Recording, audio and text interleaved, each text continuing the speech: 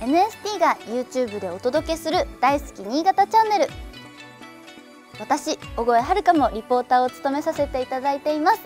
あ梅干し来た。あ大吉なんですけど。50歳58 59本当にこれぞあ仏像とかしてない？花びら舞い散るですね。大昔のスキエアってことですよね。小越遥の底力ですよ。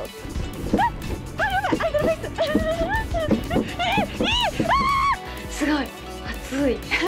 ビール上々上々上 2024年も新潟のお出かけ情報美味しいグルメなどさまざまな魅力を発信していきます YouTube 大好き新潟チャンネルで検索。